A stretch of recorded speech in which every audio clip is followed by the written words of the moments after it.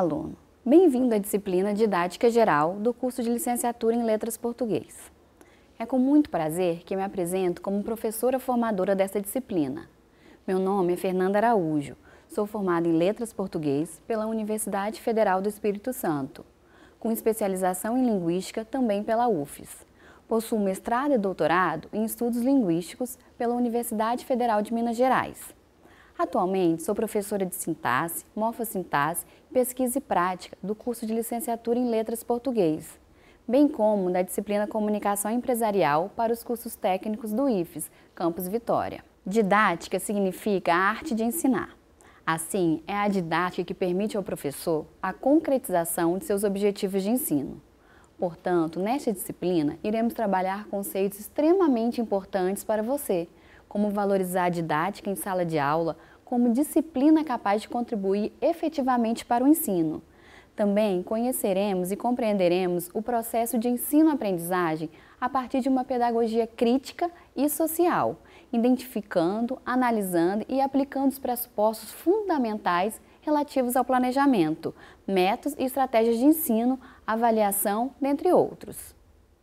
Além disso, buscaremos inovações neste processo, utilizando diversos recursos que auxiliem na relação professor-aluno. O objetivo dessa disciplina é apresentar a didática como área de estudo que fundamenta todo o processo de ensino-aprendizagem. Em relação à bibliografia, a disciplina foi montada tomando como base o material didático produzido pelo professor Tiago Camilo, além do material de apoio produzido pela Universidade Federal de Santa Catarina, Assim, você realizará atividades, exercícios e pesquisas orientadas, sempre visando a uma maior compreensão e aplicação da prática profissional em sala de aula, seja ela presencial ou virtual. A avaliação será composta de atividades que totalizam 100 pontos. No ambiente virtual, haverá atividades que somam 40 desses pontos. Os 60 pontos restantes serão divididos em duas avaliações presenciais, com valor de 30 pontos cada. É de extrema importância que cada etapa seja feita cumprindo os prazos estipulados.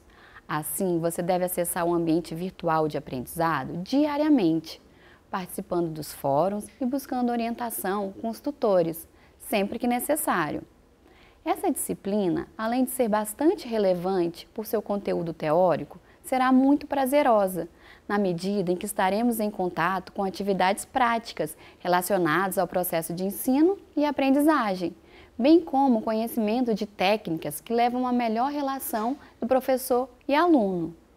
Espero que você se dedique aos estudos e se envolva cada vez mais com a disciplina. Desejo muito sucesso nesta caminhada. Bom trabalho e um forte abraço!